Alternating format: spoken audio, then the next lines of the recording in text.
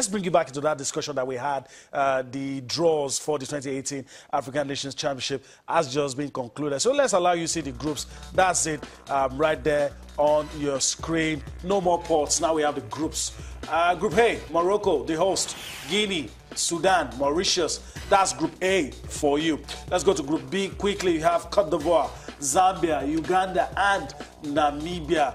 All of these teams represent players playing in the domestic league. Group C, that's where the Super Eagles are.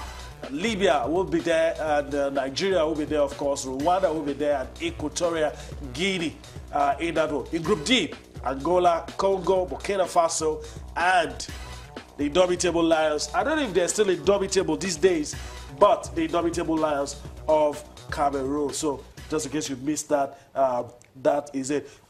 I think, you know, like Shegu said, and you said as well, I mean, you would expect Nigeria to get out of that group. No, certainly. Uh, looking at the group, um, Libya appears the only feisty opposition. Equatorial Guinea, like I did mention earlier, they are on the rise as well on the continent. At CHAN level, you can't say. So they might just appear to be a dark horse Yeah. in that um, group. But Rwanda, they are lightweights. But I expect them uh, to also give you a run for your money.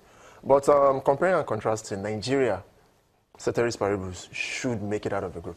Yeah, all things being equal. All things being equal. All things being equal. Okay, fingers crossed. All right, let's uh, quickly move on. Let's bring to you the fixtures. We hinted earlier in our chat with um, Shegu, but let's see the full fixtures for the English Premier League for this weekend. The big draw, always, the big one, always Arsenal against Tottenham. But um, let me, uh, kind of let me run through these fixtures and allow you to tell me what you think is going to happen. Arsenal and Tottenham, Bournemouth will take on Huddersfield Town. Burnley takes on Swansea City. Crystal Palace uh, will take on uh, Everton. Leicester having uh, well, three Nigerians will take on um, Manchester City. Uh, in our Liverpool take on Southampton.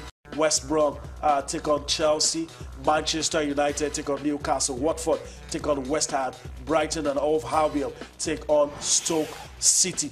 All right, let me get your thoughts uh, quickly. But, but let me start on a you know, lighter mode. Uh, when they were talking to Pep, the reporters were talking to Pep Guardiola today, in the middle of that chat, they showed him the game against Leicester and what happened. The la- I think last season uh, was a severe dent.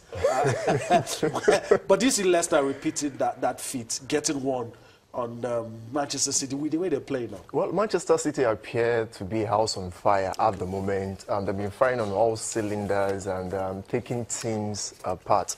We saw how they got um, victory over Arsenal the last time out. But for more. Leicester City, it's a new dawn under a new coach, Claude Puel. Mm-hmm. And uh, if you look back how they fared under um, Claudio Ranieri, Craig, Craig Shakespeare, and now Claude, but they seem to do well under new coaches. So that wave might just work in their favor For some time. In a way, for some time. But over 90 minutes, give it to Manchester City. All right, all right. So, uh, so all right. Uh, the other games, Manchester United, Newcastle talks about. Um, so, someone jokingly told me that um, uh, Jose Mourinho uh, talking about Zlatan and is passing a message to Romelu Lukaku. I, I don't know if you agree with that. Well, it's about competition. And um, lately, uh, Lukaku has been off the boil. He started like he was on fire, getting about five, six goals in the first and four games, but he's been struggling. And now you have um, Zlatan coming back. We know Zlatan scored close to 30 goals in 35 appearances for Manchester United across all competitions. It's good for, for, for the game. Let whoever is um, the better of the two of them, Lukaku and um, Zlatan Ibrahimovic, to get um, the playing time. What matters to Mourinho is all three points, getting victories as and when due. And what about Paul Pogba if he gets to play? Well, for Paul Pogba, he should be eased into the game gradually. He's just recovering. He's been out since September, and then they've coped in his absence. Yes, they've missed him, especially in their last game against Chelsea. They did miss Paul The results haven't been bad without him. It hasn't been bad, I know. But when you play against formidable foes like Chelsea, Manchester City, Real Madrid, you need a big player like Paul Pogba. Yes, he plays to the gallery sometimes. But when he means business, he does well, and his impact is always felt. But in tomorrow's game, even if he's not involved, I should still expect Manchester United to get all three points against Newcastle. Okay. All right, let's. Um, still talking about Europe now, but we in England, go to Europe. Let, us look at some of the big games um, across um, some of the big leagues, and um, let's quickly give it to you. Any day, any time, irrespective of the position they are on the league, Roma and Lazio, big game, any day. Napoli AC Milan, big game any day. Well, Atletico Madrid and Real Madrid, very big game uh, any day. Well, when you go to France, you only have to talk about PSG. So we take number one and number five, PSG and Nantes. And of course, well, we go to Holland. Then in Holland, we talk about PSV Eindhoven and Ajax. But tonight, we're talking about uh, PSV Eindhoven and Zwolle. But let me allow you uh, talk about, I don't know where you want to start. Um, Roma, Lazio, uh, neighbors, rivals, even when they're not playing well. Well, the, the Rome derby, Roma has um, stated this season that they mean business. And with the fashion that they started the season with, um, they look like they're going to tear Lazio apart. So I'll stick my neck out for um, Roma. Napoli AC Milan. If Montella is not careful, Okay, that might be the last game as the coach of AC Milan because they've been abysmal. This is- and Napoli, they are on top of the Scudetto. Juventus are just um, trailing. They look like uh, they want to upset the apple cart. I believe they have the ability to go the all. And by me, maybe might just have a new winner of the Scudetto. Okay. All right, the big one.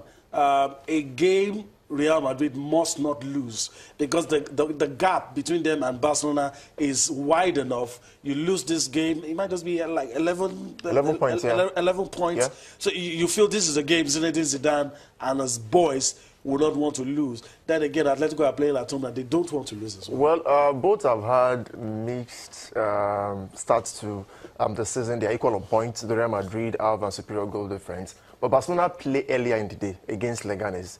And victory against Leganes will extend their lead at the top. Barcelona have only dropped um, two points this season against Atletico Madrid. And Atletico Madrid at their new stadium, the Wanda Metropolitano, against their bitter rivals. They want to at least get the first uh, Madrid derby with all three points. And Real Madrid needs to win so that they can keep up the chase with um, Barcelona. It depends on the side that wants it more. Okay. But a part of me is saying Atletico might just carry the day. Okay. Well, um, and, and, lastly, before I let you go, uh, in France, it, it looks like anybody just can't stop PSG. It's PSG all the way. Maybe Monaco, but eventually, Maybe Marseille, eventually, maybe Monaco. It's PSG. You can't look beyond them. Marseille, Monaco, like Monaco did um, give them a run for the money and last season, but thus far they look like um, they have their acts together. And Unai Emery has um, learned from the mistake of last season, and they want to extend a healthy lead before the um, fixtures of the UEFA Champions League and other competitions gets in the way. It's just PSG all the way. All right. Kadi, I want to thank you for your time uh, on the show. Uh, hopefully, I'll obtain a promise that you'll be around some other time. When I have the time, okay. But I thank you for uh, making our time to come. it's to- a pleasure. All right.